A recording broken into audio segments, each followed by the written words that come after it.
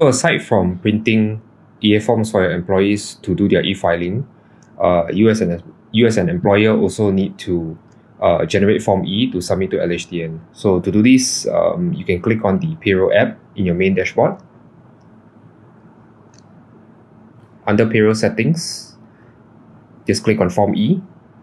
So if you have already processed payroll from January to December, we will be able to pull all the payment data into the Form E.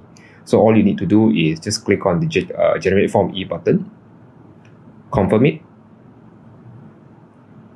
so all your employees forms will be generated accordingly. If you need to, if you need to check through uh, before you actually submit them, or you can uh, click on View Edit button,